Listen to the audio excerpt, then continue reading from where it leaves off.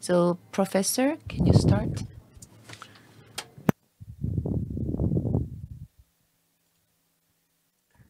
Thank you very much for the invitation to speak to you. Can everyone hear me?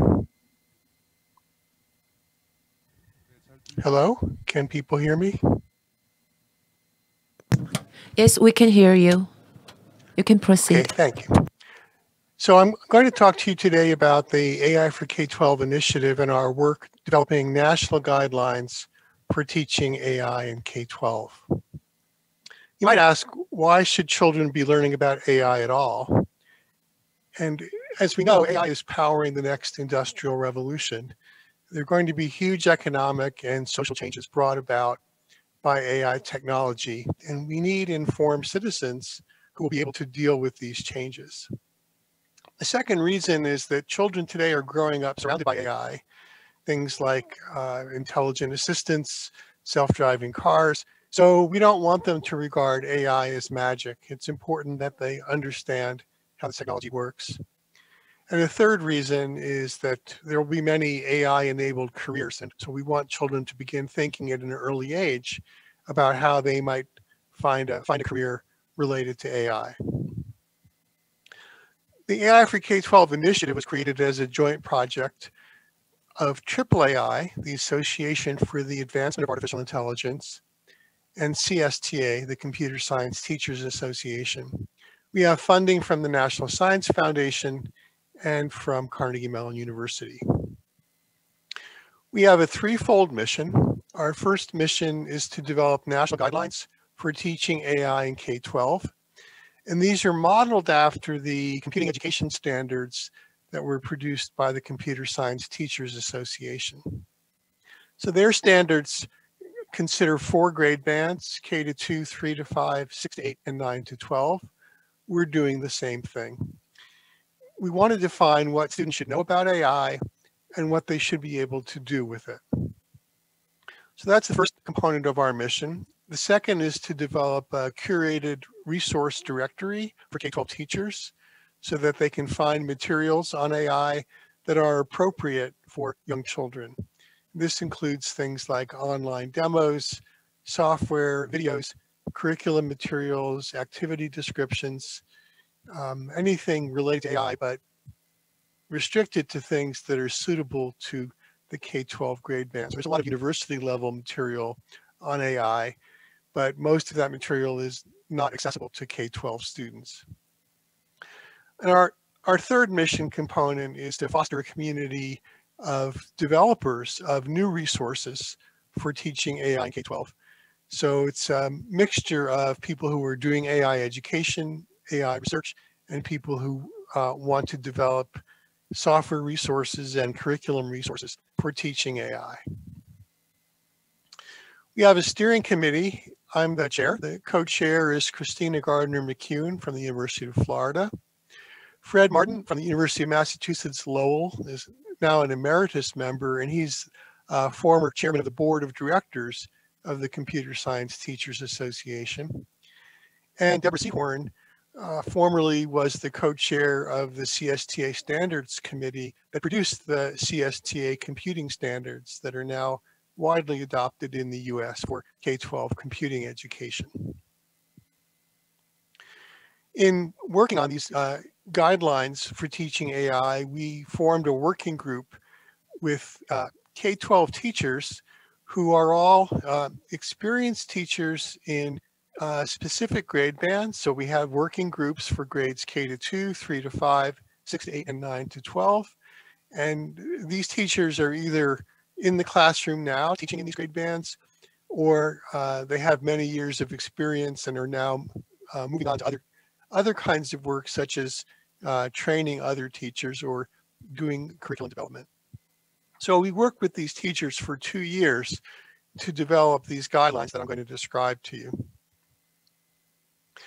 One of the first things we did was put together a list of five big ideas in AI. And uh, you can see the graphic here uh, that describes the big ideas. These, these act as the organizing framework for the guidelines.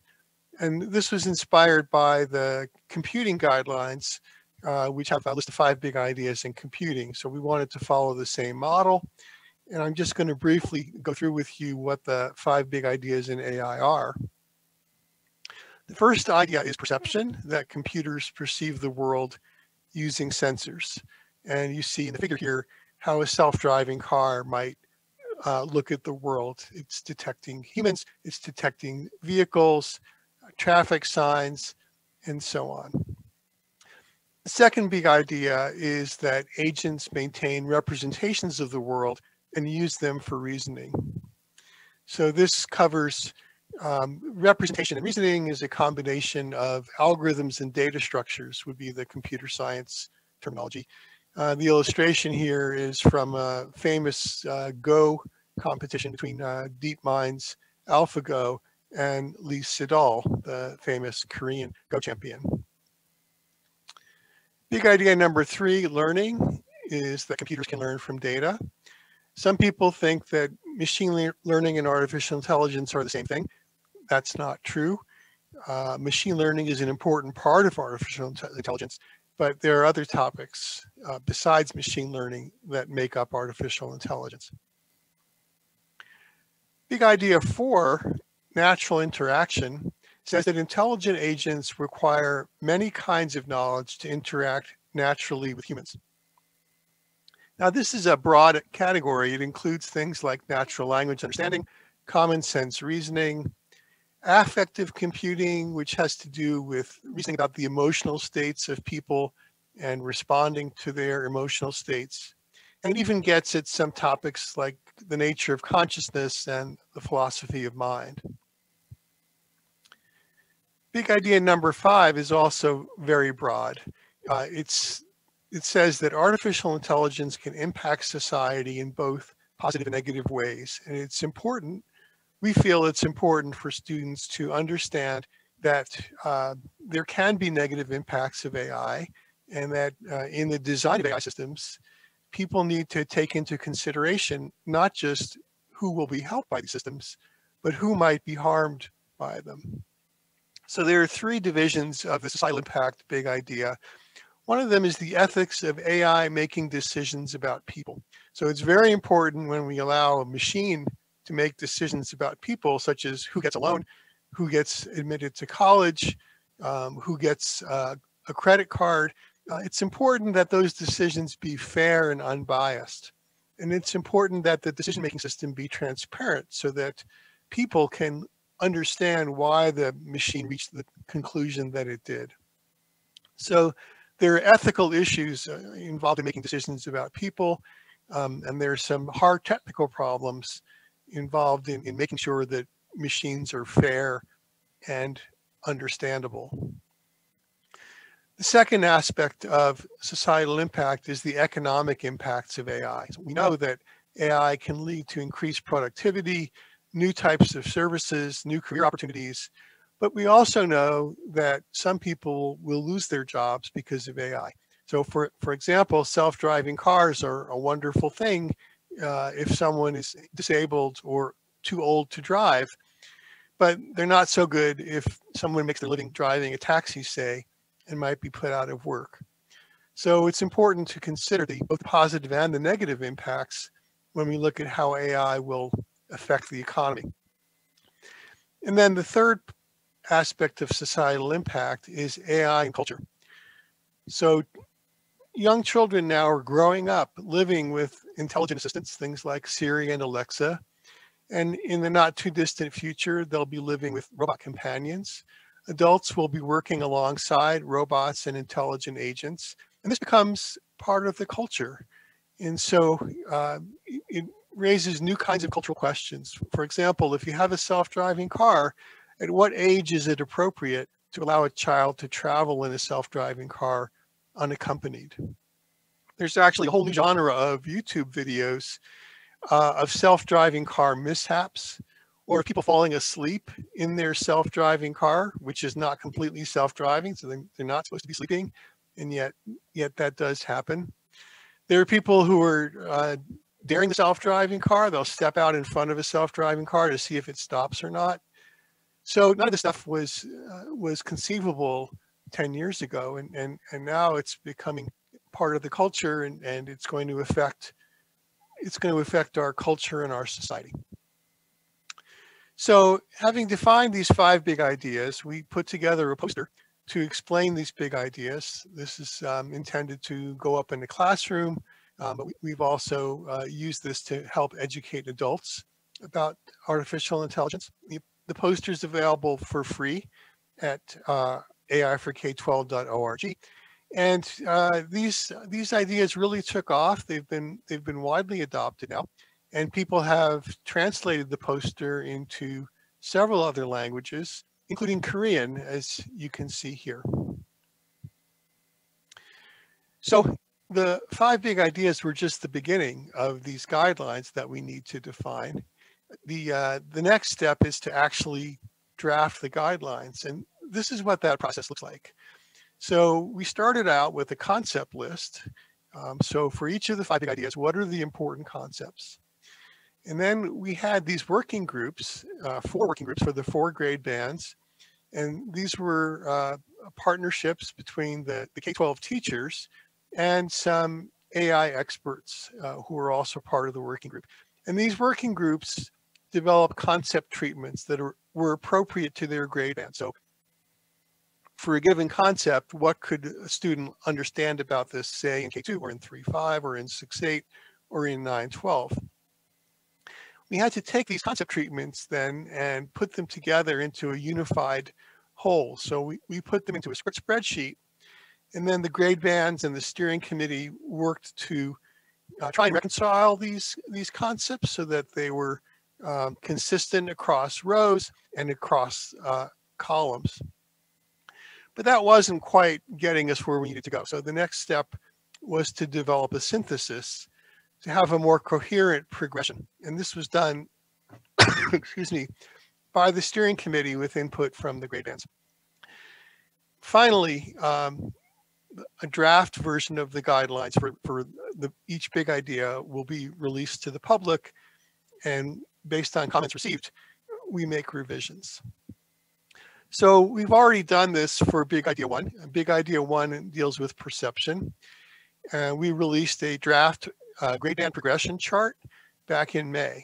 So you can see on this chart, the column headings are the grade bands, K to 2, 3 to 5, 6 to 8, and 9, 12. And the rows are various concepts. And so every cell is explaining how that concept would be covered in a particular grade band. So if we zoom in on this a little bit, you can see the beginning of the chart. We state the big idea. Big idea number one is perception. The uh, idea is that computers perceive the world using sensors. So that's the one sentence statement of the idea. And then we have these orange boxes where we're trying to, trying to get at the most essential concepts that we want the teacher to convey to the students. So for perception, one of them is the idea that perception is the extraction of meaning from sensory information using knowledge. So perception and sensing are not the same thing. Perception is extracting the meaning from the sensory signal. And then the second uh, big insight about perception is that there's a transformation from signal to meaning that takes place in stages with increasingly abstract features and higher level knowledge applied at each stage. And this applies both to uh, speech understanding and to computer vision. So after these orange boxes, we have the concept list. The three major concepts for perception are sensing, processing, and domain knowledge. Each of those is divided into sub-concepts, as you can see here. And then for each one of these sub-concepts, we give a treatment uh, in each of the four grade bands. So um, just to give a, an example, the very first subconcept is sensing in living things. And in K2, we ask students to identify human senses and sensory organs. So the LO, that's the learning objective, what students should be able to do. And the EU is the enduring understanding, what students should know. So in K2, the EU is just that people experience the world through their five senses, sight, hearing, touch, taste, and smell. When we get to 3.5, we're asking them to do a little more. We're asking them to compare human perception to animal perception. And the EU is that some animals experience the world differently than people do. Bats and dolphins use sonar, bees can see in the ultraviolet, rats don't have color vision, and so on. So this is just a quick uh, taste of what these uh, cells look like in the grade band progression chart. Big idea three is uh, learning, the idea that computers can learn from data. And uh, what you see here are uh, the four orange boxes for big idea three, the things that we want the teachers to get across to the students. And some of these uh, may only be may only be appropriate for the upper level grade bands. But uh, the idea is that uh, machine learning allows a computer to acquire behaviors without explicitly programming those behaviors. That's the, the common mm-hmm. definition of machine learning. But what we want people to understand is that what the learning algorithm is doing is changing the internal representations of a reasoning model. So you have a neural network or a decision tree that's doing some kind of reasoning, maybe classification, maybe prediction. And what the learning algorithm is doing is modifying the reasoner. So when a reasoner is capable of a large variety of behaviors, that's when a large amount of training data is required to narrow down the learning algorithm's choices about uh, what behavior we're trying to achieve. And there is this separation between the learning algorithm and the reasoning algorithm. So once the reasoner has been trained by the learning algorithm, then the reasoning algorithm can be applied to solve new problems and the, learning algorithm is no longer necessary. So here's the concept list for uh, Big Idea 3. Uh, the, the major concepts are the nature of learning, neural networks, which we treat especially because they're such an important part of machine learning today, and then a consideration of data sets. So what's next for AI for K-12? Well, uh, we are uh, going to be releasing the Big Idea 3 progression chart for public comment very soon. The slide says October 2020, but that date has slipped a little bit. So it'll be in uh, uh, very early November. Uh, then we'll be revising Big Idea number one. Uh, we've received public feedback on that. Uh, there is a um, plan to produce progression charts for big ideas four and five uh, in early 2021, and then finally big idea two. And in February 2021, there will be the Educational Advances in Artificial Intelligence Conference with a new special track on demos, software tools, and activities for teaching AI in K-12. So I, I invite you to join us in developing the guidelines or help grow the community of resource developers please visit us at our website, ai4k12.org. And we do have a mailing list, and you're welcome to join the mailing list. The, link is on the slide here, but you can also uh, find the link if you just go to the ai4k12.org website. So thank you very much, and I look forward to the panel discussion.